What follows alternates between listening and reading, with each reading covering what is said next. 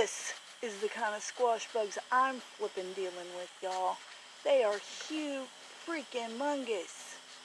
And everywhere.